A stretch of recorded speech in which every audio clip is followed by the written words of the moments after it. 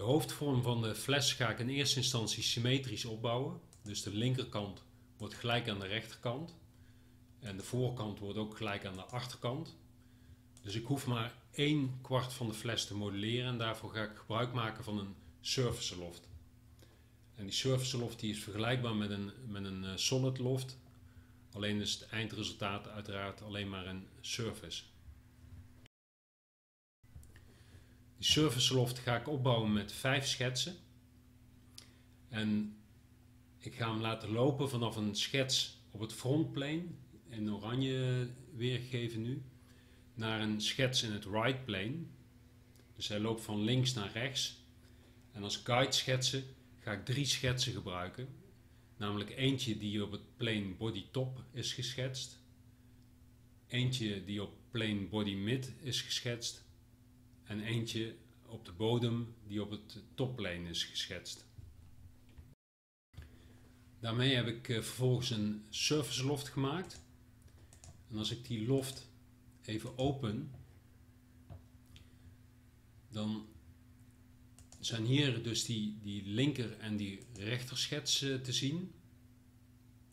En dan zijn hieronder start- en end constraints uh, zichtbaar. En zowel bij start heb ik geselecteerd dat die normal to vector uh, moet zijn. En dat wil zeggen dat die dus haaks op dat, op dat start, op dat uh, frontplane uit moet komen, dat surface. Uh, en dat is nodig om hem daarna, als je hem spiegelt, dat surface, dat hij vloeiend doorloopt in de achterkant. Nou, datzelfde moet ook gedaan worden bij die andere schets. Dus dat is in dit geval de end constraint. dus daar moet hij ook normal to profile aankomen. Nou, als guide schetsen heb ik dus die schets aan de bovenzijde en die schets in het midden en die schets aan de onderkant. En daar zou je bij elke schets ook nog constraints kunnen aangeven. Dus dat is deze uh, tangency. Alleen in dit geval uh, is dat niet nodig, omdat het vlak dus niet haaks uit moet komen op, de, op die schets. Dus ik geef in dit geval uh, geen tangency aan bij die drie schetsen. Nou, die surface loft die heb ik vervolgens gemirrored in het front plane en daarna ook in het right plane. En daar heb ik vervolgens een, een planar surface aangemaakt. Die is daar te, te, vinden. En een planar surface is gewoon een, een vlak uh, surface uh, waarbij ik eigenlijk die hele cirkel heb gebruik, gebruikt om, om dat vlak dicht te maken. Nou, vervolgens heb ik ook een tweede planar surface aangemaakt op de bodem. En daarmee is eigenlijk de hele hoofdvorm van de fles afgesloten. En vervolgens heb ik met een surface knit uh, heb ik die verschillende surfaces aan elkaar ge, genit. Um, en dat kan ik laten zien boven in de tree. Dus ik heb in eerste instantie heb ik uh, drie verschillende surfaces. En met de surface knit kan ik die drie surfaces aan elkaar maken. Maar da daarbij heb ik ook de optie om er een solid van te creëren. Dus die heb ik aangevinkt. En als ik die optie aanvink, dan zul je zien dat het eindresultaat vervolgens een solid body is geworden. Dus als ik hem even doorsnijd, dan is te zien dat het nu geen surface body meer is, maar een solid body. Nu wil ik de bovenrand en de onderrand voorzien van een fillet. Dan begin ik even met de, met de onderkant. Um, als ik daar gewoon een standaard fillet voor zou gebruiken, dan zou die breedte van die fillet die zou gaan, gaan veranderen. Omdat hij aan de voorkant heeft hij een andere hoek tussen die twee vlakken dan aan de zijkant. Um, dus ik begin in dit geval met twee zogenaamde split lines. Um, en die split line die teken ik door een schetslijn 4 mm hoger uh, dan het bodemvlak te tekenen.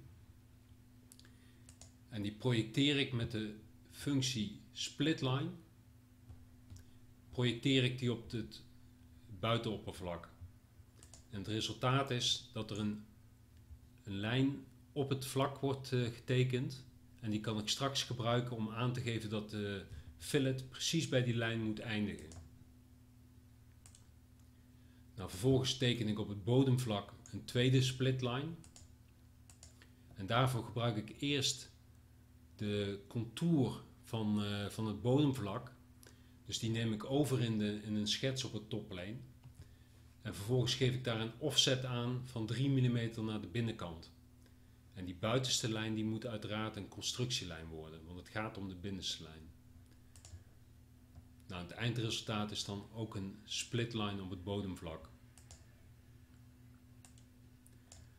Nou, vervolgens kan ik een fillet definiëren. En in dit geval kies ik een face fillet, waarbij ik een uh, fillet aangegeven tussen het bodemvlak en het zijvlak. En bij de fillet parameters gebruik ik de optie hold line. En dan selecteer ik al die verschillende lijnen uh, van die uh, split line. Die gebruik ik dus als, als hold line. Dus daarmee geef ik eigenlijk aan dat die fillet niet een vaste radius krijgt, maar die loopt precies vanaf die bovenlijn tot dan die binnenste lijn op het bodemvlak.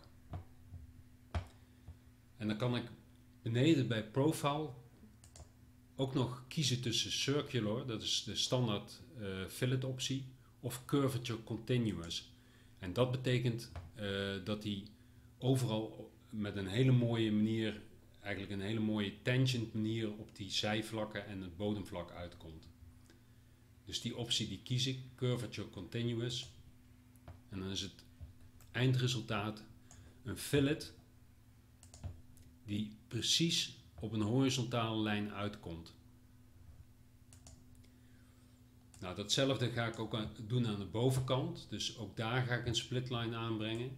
En ook eentje op het bovenvlak. Um, en even kijken. Die op het frontvlak die zit 3 mm vanaf de top. En die op het bovenvlak die krijgt een offset ook van 3 mm. En vervolgens kies ik ook weer dezelfde soort fillet. Dus ook weer een face fillet met een hold line en curvature continuous. En daarmee is de hoofdvorm van de fles klaar.